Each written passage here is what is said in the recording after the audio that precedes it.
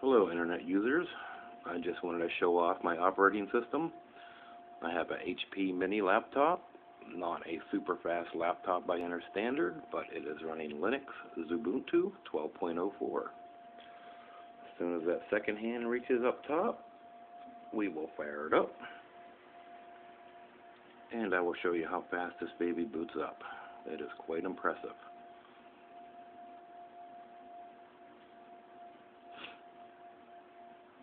So far I've been very happy with the operating system. It's been working very fast, very efficient, and has everything I need. Linux is a free operating system, and it works wonderful. So far, we have our boot screen. As you see, it's been about 40 seconds. We are up and running already way faster than any Windows program I've ever used.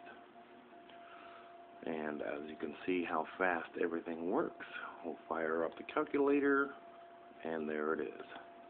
We'll go into the settings manager, and there it is. There is a bottom quick launcher on this version, which I like a lot, that keeps a clean desktop.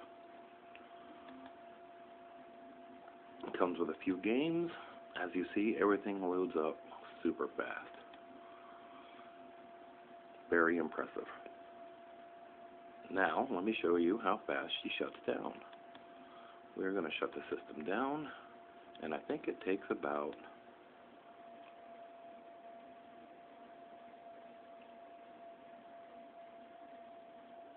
seven or eight seconds.